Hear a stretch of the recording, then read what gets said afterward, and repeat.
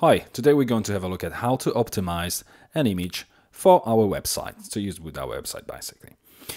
This image which we're going to be working on is just an image of a tile. It's got a size of 1.7 megabytes, which is pretty massive. Obviously, if, if we're thinking about publishing this on a, on a website, it would take time to load.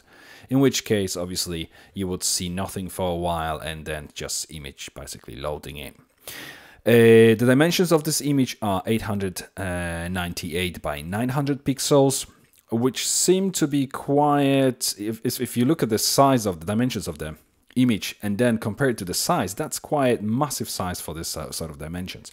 And the reason why it is so big, if we go to the Photoshop, is because if we open image and then we go to image size, is because its resolution, DPI uh, dots per inch, is 300. Usually uh, web images have about 72. But look what's going to happen when I type in 72. As you can see, our dimensions have also changed. And this is not quite what we want. So we're going to reverse it back to 300. We want to keep our width and height the same uh, value, but just change the resolution.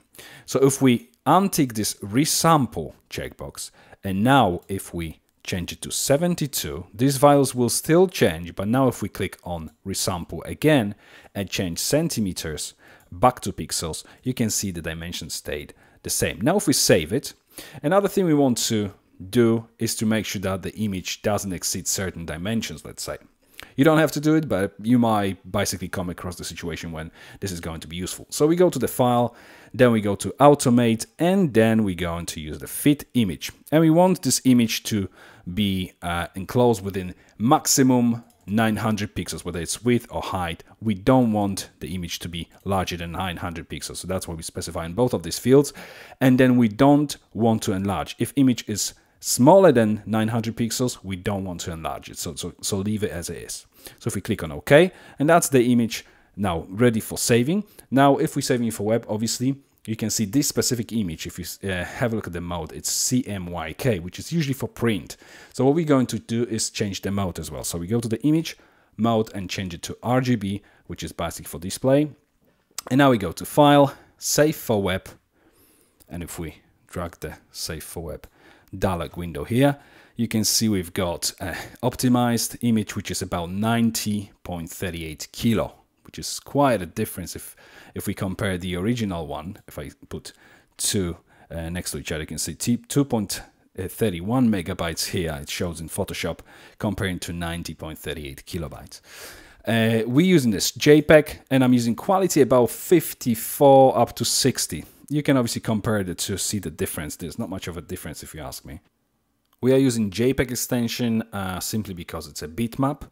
For bitmaps, we use JPEG uh, compression.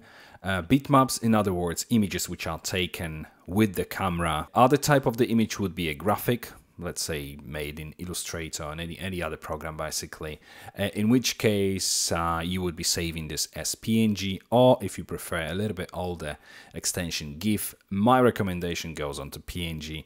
Uh, if, if it's not a bitmap, uh, then simply use PNG.